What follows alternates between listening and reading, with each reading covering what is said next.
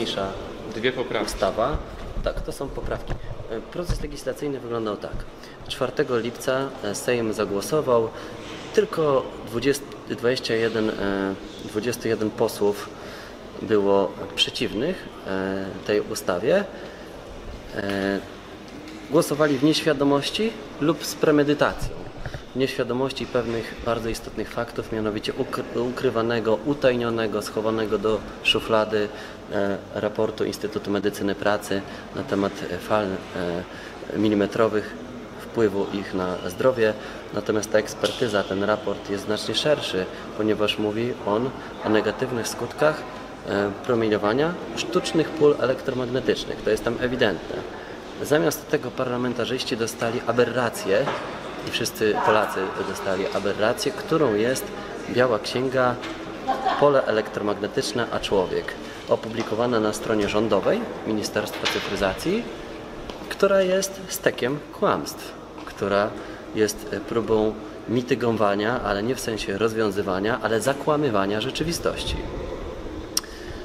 Mówiąc y, pokrótce, to jest bardzo nieciekawa lektura, ale warto sobie na nią spojrzeć ze względów poznawczych, ale także dowodowych, ze względów procesowych. Jest bardzo możliwe, że będą się profesjonaliści przyglądali ze względów procesowych na e, tą publikację.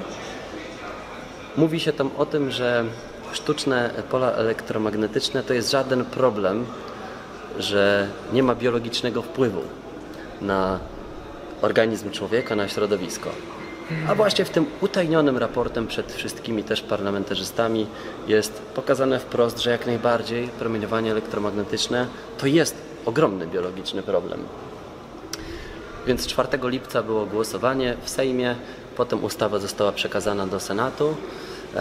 9-10 lipca, 9 były dwie komisje w Senacie, tylko dwie.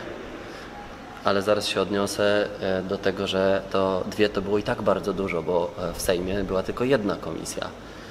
E, Mianowicie Komisja Infrastruktury Senacka i Komisja Samorządu Terytorialnego i Administracji Publicznej. Czyli w Senacie również nie było Komisji Zdrowia, Komisji Środowiska, Komisji Zasobów Naturalnych, Komisji właściwej do energetyki, Komisji właściwej do finansów publicznych i w Sejmie też nie była. No widzicie, e, ta ustawa porusza szereg różnych ustaw. Zresztą nawet w jej tytule jest informacja o tym, że ona dotyka innych ustaw, czyli porusza je w sposób skandaliczny, ogromny. Skandaliczny dlatego, że jeden z zapisów powoduje, że do określania maksymalnych poziomów pól elektromagnetycznych przenosi się kompetencje z ministra środowiska, który cały czas protestuje przez cały proces legislacyjny gdzie społeczeństwo wiedzą, że to jest aberracja, że jest to bezprawie, zalegalizowane tylko tą ustawą. I przenosi te kompetencje na ministra zdrowia, który pełni tutaj rolę lobbysty. I zresztą jest to były pracownik, ten reprezentujący Ministerstwo Zdrowia w tym projekcie ustawy, jest to były pracownik, menadżer z firmy Orange, operatora sieci telefonii komórkowej. E, Związek Miast Polskich zorientował się, że jest jakiś problem, że Ministerstwo Cyfryzacji powołuje się na przeprowadzone konsultacje z nimi, e, a takich konsultacji de facto nie było. Byliśmy uczestnikami takiej rozmowy, w której jeden z członków tego związku mówi: Wie pan, jak to było, po prostu to przyszło, stos dokumentów, ktoś podpisał i poszło. No i dlatego, że Związek Miast Polskich zorientował się, że samorządy ogranicza się samorządom prawa co do lokalizacji stacji bazowych, ale także uszczupla się ich dochody, ponieważ oddaje się infrastrukturę komunalną za darmo do instalacji e, punktów dostępu do sieci bezprzewodowej, no to Związek Miast Polskich podniósł larum i dlatego nie było głosowania 9-10 lipca e, w Senacie. Zatem e, zyskaliśmy wszyscy parę tygodni i dopiero dzisiaj sprawy się dopełniają na forum e, parlamentarnym, gdzie właśnie przed chwilą doszło do zdrady narodowej. Ale jeszcze był jeden e, etap e, prac parlamentarnych. To był Senat w dniach 30 lipca, 1 sierpnia. Tam pierwszy raz parlamentarzyści podchwycili poza wyjątkami, jak poseł Robert Majka, jak poseł Józef Brynkus, jak poseł Jarosław Sachajko, poseł e, Skutecki Paweł, jak e, posłanka Gabriela Masłowska. E, Wcześniej jeszcze, przed paroma tygodniami, pani Barbara Bubula. Jeśli kogoś pominąłem, to, to przepraszam.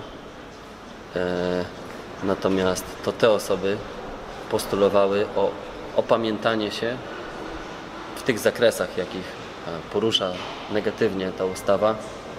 Właśnie wszedł premier Morawiecki. Morawiecki, e, który podobno jest to jego zlecenie, żeby tą sprawę Dopiąć. dopiąć.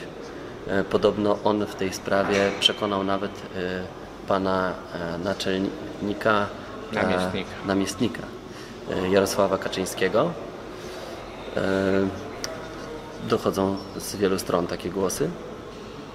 E, Więc e, w Senacie senatorowie e, powiedzieli parę zdań od strony społecznej. To były bardzo głośne głosy pana,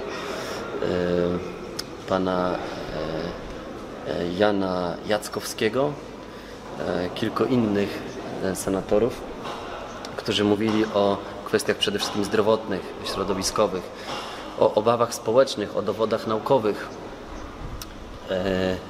E, Mówili o kwestii cyberbezpieczeństwa naszego państwa, o kwestii energetyki, tak między słowami, o kwestii pól elektromagnetycznych dowodzili senatorowie e, w, e, 1 sierpnia e, pani Wandzie Buk, czyli podsekretarki, podsekretarz e, Ministerstwa e, Cyfryzacji, że ona się w ogóle nie zna na kwestii e, pól elektromagnetycznych.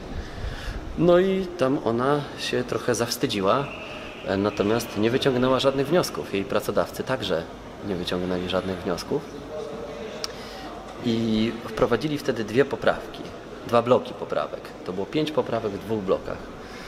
E, Poprawka pierwsza, druga i piąta dotyczyły wykreślenia e, z całego projektu mego ustawy punktów dostępu do sieci bezprzewodowych bliskiego zasięgu. I uzasadnienie tej e, poprawki to, było, to były obawy społeczne wpływu sieci 5G na zdrowie i środowisko.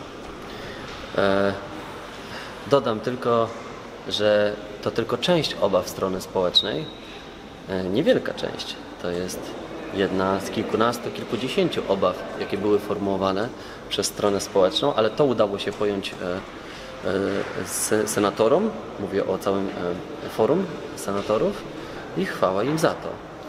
E, Natomiast rozwiązanie, jakie przewidzieli na to, no to już po prostu zupełnie nierzetelne, zupełnie nieodpowiadające temu uzasadnieniu, Nieuczciwy. a tym samym nieuczciwe. No bo oni po prostu wykreślili w swojej poprawce z tego projektu ustawy te punkty dostępowe, ale zupełnie nie wykreślili zniesienia, de facto zniesienia limitów e, promieniowania elektromagnetycznego, E, zupełnie e, nie wykreślili ochrony uzdrowisk polskich. Wcześniej było tak, że uzdrowiska, w uzdrowiskach nie można było montować punktów dostępu do sieci bezprzewodowych właśnie ze względu na kwestię czystości środowiska, bo elektroskażenia są rzeczą bardzo znaną, powszechnie znaną na całym świecie. No ale zbagatelizował to również Senat lub po prostu nie dostrzegł takiej potrzeby. Nie dziwimy się za mocno, dlatego że tempo procedowania tej ustawy jest szalone, jest niesamowite. Łamane regulaminy Sejmu i Senatu. I świadczy o tym, że ktoś naciska Dokładnie. na polski parlament. Możemy jest- się tylko domyślać kto. A jest dzisiaj dzień, e, e, jest dzisiaj dzień 29, 30. 30 sierpnia. Tak. Jest dzisiaj 30 sierpnia i e, to jest ostatnie, przedostatnie posiedzenie w tej kadencji. E, Więc widocznie była taka potrzeba, żeby zrealizować tę sprawę e, w Zlecenie tej kadencji.